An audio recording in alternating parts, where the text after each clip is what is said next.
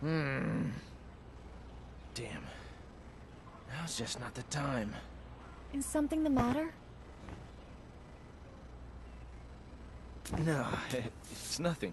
Isn't that the postcard that came this morning? Hey, are you hiding something from me? No way!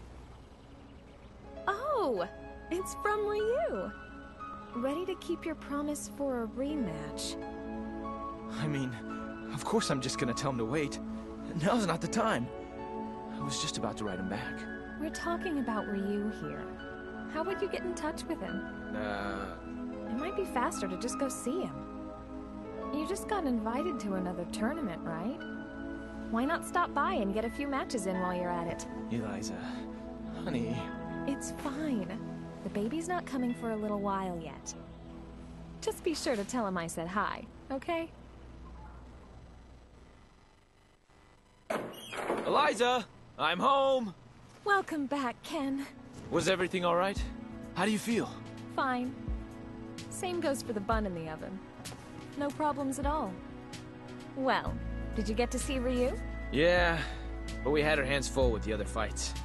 Couldn't give it our all. Still, it was good to spar with him again. Great. Oh, hey! Oh, nice kick. This one's destined to be a better fighter than dear old dad. Sure is. Sure is.